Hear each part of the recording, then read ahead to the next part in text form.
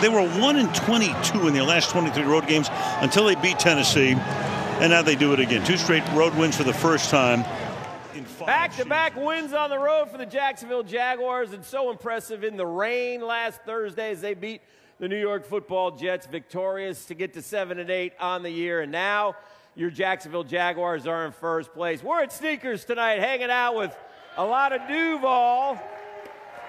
Pumped up and ready to roll. Oh, yeah, you hear them. You hear them.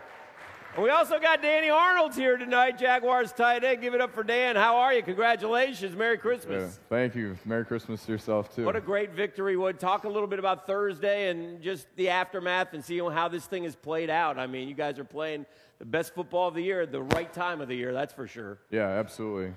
You know, uh, Doug talked about playing meaningful football games in December, and um, you know that's all you can hope for right now, and we're ready to take on the challenge. Yeah. I know one of the things we mentioned is just the ascension of Trevor Lawrence, uh, doing it with his arms and his legs as one of his top targets out there. You've seen the progress of Trevor as the season has gone along, but mostly in these last seven games. Yeah, I think mostly with him it was just he finally was getting that confidence boost, and once we got that, you know, start swinging and get a couple wins under the belt, that kid's that kid's just the most talented, probably quarterback I, have I've been around in a while. So you just love to see him sling the ball, and he just he's making the right decisions and just bringing the whole team along with him. Tell us how bad the conditions were Thursday night for the folks that weren't up there. It looked like it was raining sideways, and I thought you guys did a good thing. And Trevor, you know using his legs a little bit more. He had 51 yards rushing. Uh, just tell me about the conditions out there. Yeah, um, you know, being from Wisconsin, I didn't. I didn't bother you. It wasn't that bad for me, but uh, yeah, some of those guys from Alabama and Florida, I'm sure, were a little cold. Um, it was a little drippy, um, but other than that, I think we handled the elements. You know, we had that Philly game earlier in the year that was soaking wet as well, and we kind of learned from that, approached our practice game, practice playing a little bit differently, and uh, we're prepared for it we, we talk about the numbers a lot in this business, and we take a look at Trevor Lawrence over these last seven games and the numbers that he has put up. We'll take a look at it. 16 total touchdowns against just one interception, 2,100 total yards. That's quick math, 300 a game, throwing and running. Pretty good. If you were to do this over a full season, you're talking 5,100 total yards, 39 total touchdowns, running and passing, and only two interceptions. yeah. That sounds pretty good. That's, That's crazy. That, that, would work. Yeah. Absolutely. Yeah. I mean, I know you've been a big believer in Trevor, and you guys have developed a great friendship, uh, but it's been fun for the fans to kind of watch his ascension and become the player that everybody was hoping that he was going to become here in Jacksonville. Yeah, I think it, you know, in all honesty, it had a lot to do with more just, I felt like hands off from the yeah. coaches and just kind of let him go out and do his thing. You know, they drafted him number one overall for a reason, and they believed in this kid from day one. And uh, you're just letting him go out and play his brand of football, and he's he's doing what he knows he can do. How was the Christmas party over at the Lawrence household? I saw some pictures. It looked like it was a fun time. Yeah, it was. Anything it was, you can let us in on? Uh, um, what happens at the Lawrence house stays at the Lawrence yeah. house. All right. Let's just say we were. Uh, or anything, did you? Uh, we busted out the karaoke machine and it got it got pretty uh, pretty crazy, but no, it was good. It was good to just relax with all the guys. So. Yeah, some of the karaoke footage made it to social media. Oh so gosh. that did make it on there. Well, let's get back to the offense for this Jaguars team and a huge milestone for one of the young guys on the team in Travis Etienne uh, as one of the tight ends. You're out there blocking for this guy. He hits that 1,000 yard mark and joins a great group of Jacksonville Jaguars to have achieved that. How big is that for Etienne in just his second year in the league? Yeah, really his first year because he missed the whole first. Right. Year. Yeah. No, it's something that you know you can hang your hat on, and and you just love being around a kid that's going to work hard for you. That kid practices his butt off, and and he's just someone that you want to you want to go out there and block for. And the way he's kind of handled this season, you know. Um, but he, he, the sky's the limit for him too. The kid is an incredibly talented runner, and he runs hard, which That's you love. yeah, I, am really, you know, I thought he was in kind of an outside guy, so fast. Obviously, I think yeah. he had 70 plus touchdowns at Clemson. But this kid runs it up in between the tackles, and he takes some shots. And he joins an exclusive club uh, with the Jacksonville Jaguars, who have been able to go over a thousand yards. There's some pretty good names on there, by the way. If we look at them. Um, yeah, we're gonna let Fred off. I guess he's on the next list, but Must Freddie, the next one, yeah. Mojo, Leonard Fournette, and James Robinson as well, all over a thousand yards for the Jaguars. You were able. You were able to contribute as well on, uh, uh, on Thursday with your hands as well. I know you like to get out there and get a catch. You Actually, had a couple, but one got called back. But this was part of a really good drive by you guys. Yeah, definitely um, kind of that tone setter drive that you want to go down and, and, put a score in kind of after how we had started the game. Um, you know, just we go out there and we make plays when we when they come our way and it's interesting that we talk about you know all the athletes that we got. I think we have four guys on the team who have all had 100 yard games. Right. Like that's something that you don't really see on a, right. a lot of other teams and how we spread the ball and everybody's getting a, a, bite of the pie. Really hard to game plan for, by the way, for the uh, opposition when you've got all these different guys that can go and catch a ball. But yeah. no Pro Bowlers. What the heck? I mean, what's going on? Hey, let's check out our power play of the week. Power Play of the Week, sponsored by IBEW Local 177, powering Jacksonville since 1912. Thank you, Brotherhood. It happened early in the game. This was big because Trevor did have a fumble early on, and the Jets were knocking on the door, Dan, and Andre Cisco blitzed off the edge and just blasted uh, Zach Wilson, who kind of had a tough night there. But that was a big play for the defense, I thought. Yeah, absolutely. Those are the kinds of plays. You know, Thursday night games, it's all about starting fast, and uh, Cisco's been making those hard hits all year. Um, I can think of the Kansas City game, just thinking back, like, wow, I'm glad we don't like go live against those guys a lot during practice. However, you're a smart guy, so why don't you explain how the playoffs work here? You, you did good on the SAT. I'm just a read scores, so you can tell people. Look, look it's pretty simple. You All beat right. the Titans in the last game of the season, you win the division. That's I got that. That is the simplest way to do it. Uh-huh. Now, there are some possible wild card situations uh-huh. where if you, you beat the Texans next week, and then if whatever happens happens in that last week, there are still some ways to get in, but easy easy enough. Week 18 at home beat the Tennessee Titans. Dan, one of the things going around is, is well, this game is meaningless. Well, first off, there are no NFL games that are meaningless. But mm-hmm. secondly, you, there is a scenario where you win against Houston Sunday, lose to the Titans, and still get a wild card. In other words, you guys are still in contention for a wild card. I can't imagine we're going to rest starters. Yeah, no, I don't. That's not within the game plan. Yeah. Um, you know, Doug's mentality the whole season has been, you know, go 1 and 0 play the game in front of you. It's a faceless opponent. Yeah. Um, that's kind of how we're looking at this week. Momentum keeps going. We, you know, yeah. plus, listen, the one thing that this team has done, you guys, you've been able to exercise a lot of the ghosts, right? I mean, the, the losing streaks here. So Can't many beat an NFC team. Year, Can't yeah. win on the road. Well, Houston has won a few in a row here against the Jags, so it'd be nice to go out there and beat those guys. Yeah, I think uh, a lot of the guys on the team kind of have a bitter taste in their mouth from the first game this season. Yeah. So yeah. we're looking forward to it. All right, let's take a look at the game plan and see how the Jags did as they got ready for the game against the Jets. It's time for the game plan, sponsored by TIAA Bank. So we targeted playing aggressive as the game plan against the Jets. Well, there's a lot of field goals in this game. Uh, five attempted, four made. Yeah. But here's the point they didn't have to get super aggressive simply because of the way Wilson and the Jets offense was playing. Yeah. They couldn't do anything against the Jaguars defense. So a little bit of a pivot from what we were saying in the game plan and play smart.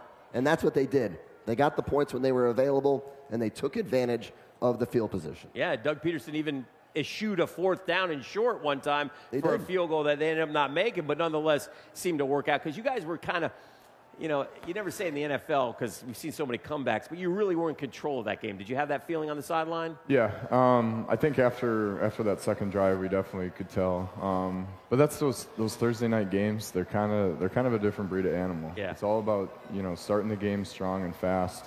I think the win percentage of leading in the halftime is like 85% or something like that. Yeah. Um, so you really just try and win the first half, and then you know keep guys fresh for the second half. But yeah, it came down to completions. Um, Trevor just being smart with the ball, which we were, and then running the ball. You know, getting getting Travis to that 100 100k mark or 1k mark, and you know that was that was the game plan was run run the dang ball. The drive of the day, driven by your local Ford dealers. Kind of one of those where you really Boy, it was beautiful. Great play calling, I thought. You ran when we thought you'd throw. You throw when we thought you'd run. 16 plays, 96 yards, chewed up a lot of time. It's great, great drive. Yeah, um, I think that comes down to a lot of stuff we practiced in training camp. Um, Coach Pederson has these extended drive drills that he likes to do where you do 18 Seem to have a bunch of them this year and uh, you hate him as a player. And gosh, it, it, sucks when it's 100 degrees out and all humid. But it definitely made it worth it when you have winds, you know, coming like this. It does feel like the games where the Jaguars are winning, they seem to at least have one of these in every single one of those games. That super long drive. You start inside your own 10, but it doesn't matter. You go 12 to 15 plays.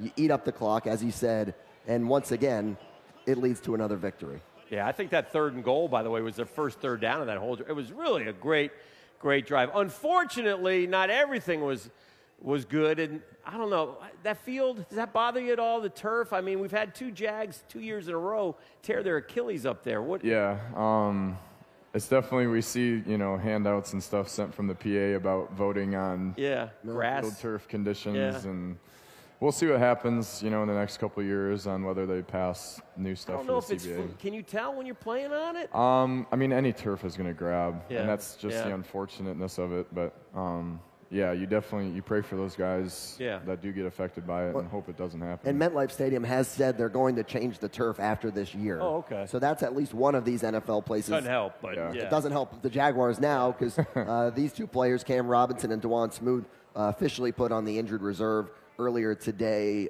ending their season. Uh, it- it's getting towards that time of the year where you start to see kind of the depth of these NFL rosters because players are going to go down. It's the nature of the business. yeah, and I think it has. We've been, for the most part, pretty safe from it this year, and Yeah. it has a lot to do with the way that we practice. Um, you practice hard, you kind of prepare your body for those bumps and bruises, but yeah, you have freak stuff like that happen, and, and you only feel for those guys, and, and it, it's it's the crappy part of the game. It is, and it's part of the game. We all know that. Let's bring in Liv Tasley right now. She has more on the dreaded Achilles injury. This injury report is brought to you by Flagler Health, orthopedic Jaguars specialists. defense has taken another hit, this time for the rest of the season and the team's potential playoff run. In this post, defensive end Dawuane Smoot announced Saturday that an MRI confirmed he tore his Achilles in Thursday night's win against the Jets. For more on the injury, let's bring in Dr. Garrett Schwartzman over at Flagler Health Plus. So the Achilles is the, the big tendon you can feel in the back of your ankle, and it inserts on your heel, uh, which we call the calcaneus. That's the, your heel bone itself. And it can tear, in, again, in multiple different spots, but um, sometimes when it tears, it, it does roll up the leg, and you can, you can visualize it and see it.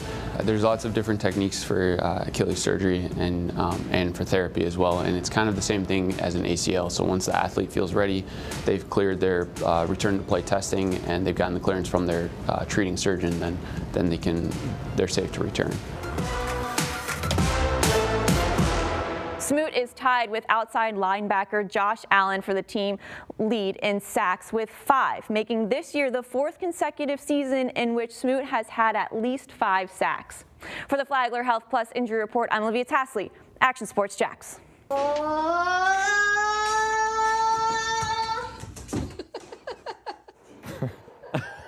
Oh, Trevor Lawrence bringing joy to Jacksonville all over. Oh, it's on backwards, but that's okay. He wanted to show everybody his Trevor Lawrence jersey he got for Christmas. Welcome back to Sneakers, everybody. Stuart Webber, Dan Hicken. Dan Arnold is here as well, Jaguars tight end. And uh, it's the most wonderful time of the year, Dan. I mean, how was Christmas for you? Did you have a good Christmas? Yeah, uh, relaxing. Got to spend time on the couch and watch football and just hang out with the wife and dogs. So Well, nothing good. wrong with that. Nothing wrong at all. Not much better. Around the league, this is the time of year where you get to see these extravagant gifts. Yeah. Usually quarterbacks giving it to the players that have been protecting them all year in the Okay. offensive line. You got a Let's- couple examples? We got some examples All right, here. show me what we got here. Let's uh, let's take a look and how about some new sticks? Oh, Patrick Mahomes in Kansas City is found out his offensive linemen all like to play golf, so some custom-made bags and some sticks for those guys. He can afford it, I think, Dan. Oh yeah, he should, should be able to. What else you got? Not bad at all. How about Isaiah McKenzie Okay. giving arcades to the wide receivers for his teammates on the Bills, all custom made. Oh my goodness! Look at that. You got the wide receiver coach getting one too. Wow. But when a player by the coach a gift I'm like not going to say anything, but Isaiah McKenzie hasn't signed like a gigantic contract. I don't think that's very giving. You got one more for me? Yeah, You got, got- the irony of all ironies? Oh, the irony. Oh, dear. So Zach Wilson supporting his guys with some scooters. oh no. Unfortunately, we all saw Zach Wilson's possibly his last game of the Yeah. year. Uh, he's already been announced that he will be inactive for next week's game. Well, they got Mike White back to play Mike White's back, and Joe Flacco is going to back him up. You were up there. I'm watching it on television. The ca- cascade of boos on the kid. As soon as he missed a pass, you could tell that but you can see in his eyes the lost confidence. He's got to find his mojo. I mean, if you're not a confident football player at that level, you're you're dead, aren't you? Yeah, um, I think it's one of those things. Having gone through a you know confidence depletion like Yeah. that, um, you kind of just assess yourself in the off season. You come back and uh, you know you, you get your you get your head right and you talk to the people that you need to talk to and. Um, it's a fickle game sometimes, but Yeah. you really got to be a master of your own mind a lot and uh, be able to overcome those obstacles. As great athletes as they are, the mental part is huge. Yes, yeah, absolutely. for sure. Especially with you know social media now, and you get it crammed Oh, yeah. down your throat. So Ah, sunshine and rainbows. And it has not been hard lately to find positive things to talk about with the Jacksonville Jaguars. Have They've been playing some amazing football. But sunshine and rainbows, we're not talking about meaningful December football. No. We're talking about meaningful January football. yes, How about that as the Jaguars four seed hosting. in Got to stay there. We love the division leaders category because you Yeah. get to be over there and you're not smaller on the right. Let's give a shout out to Roy Robertson Harris. He had a great game on uh, Thursday night, man. He made a couple plays in a row that were beneficial, and I thought Mike Caldwell's done a nice job of late too. He caught a lot of criticism early on, and he's tried a bunch of different things, and a lot of it has worked. So anyway, congrats to him and the staff. Coaches make a big difference, don't they, Dan? yeah, absolutely. Um, and I think Roy too. You know, you, you shout him out as a player, but as a leader too. Yeah. He's, he's one of those guys that commands the locker room, and you love having him around. All right, I, before we get out of here, I got to do a shout out to my neighbors, the Bavaros. Great, great neighbors, uh, and great New York people. But there they are, and they're watching the show. Shout out Bavaros. Yeah, they're Jets fans, and so they're buying me dinner tonight, people. How about that? Yeah, and also, we also, as Jets fans, we wanted to thank them because they are part of the gift of Trevor Lawrence. Let's not forget what the Jets did for us a couple years ago when they went out to LA and won. I know they're not meaningless to you, the player, but to the fans. Oh, there it was. oh, was. there it was. The Jets beating LA. We'll always say thank you, JETS, as that gave us uh, Trevor Lawrence here in Jacksonville. I think we put Frank Gore into the pride of the Jaguars that day. so, Dan, real quick before we get out of here in 20 seconds, focus this week as we get ready to play Houston. Yes, absolutely. Um, it's it's getting that revenge game on them, you know. Um, it's and they're playing good football too. They're they run the ball well. You know, it's gonna be it's gonna be tough for our defense. Um, but we're ready for the challenge, and we just we just want to continue this this whole win streak going and have fun. Yeah, they've been playing hard. I mean, they, played some good teams They just beat the team that the Jaguars have to beat in that last week, the Yeah. Titans. So, So, anyway, good luck. Thanks for stopping by. Congratulations, man. It's fun time of the year. Yeah, Enjoy absolutely. it. Appreciate Dan it. Arnold, people. Dan freaking Arnold. Merry Christmas, everybody. Yeah, Merry Christmas. Stuart Webber, Dan Hicken, Dan Arnold. Appreciate you watching. Jags go to Houston on Sunday. Take care of business there and then get ready. Could it be Saturday night? Could it be Sunday night at the bank? Flex us to some prime time. We'll see you next time, Monday on Jags Report Live.